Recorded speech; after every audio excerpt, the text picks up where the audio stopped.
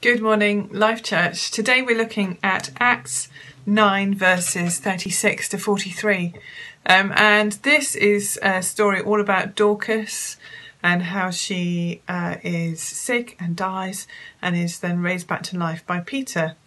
Um, and the things we know about Dorcas is she was a disciple, she was a woman, um, and she was probably a woman of some means because she spent her time helping the poor, so she must have had the means to do that.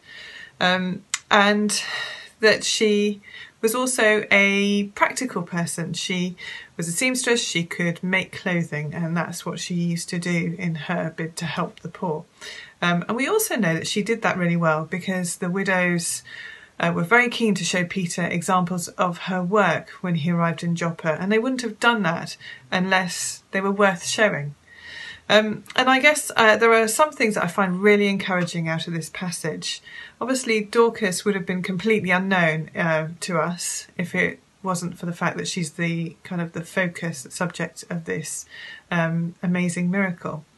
Um, but Dorcas is an ordinary woman doing ordinary things for other ordinary people, and I find that really encouraging because her life obviously counted and she obviously made an impact. And verse 36 talks about, uh, in older versions, talks about her uh, being full of good deeds. And I love that idea that she's expressing outwardly what she's full of. And I guess it caused me to think, what am I full of today?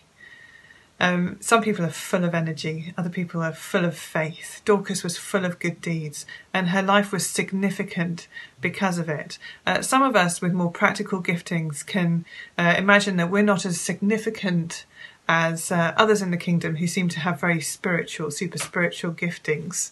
Um, but that's not the case. And Dorcas is living evidence of this. So, what are you full of today? And how are you going to uh, impact others with your gifting?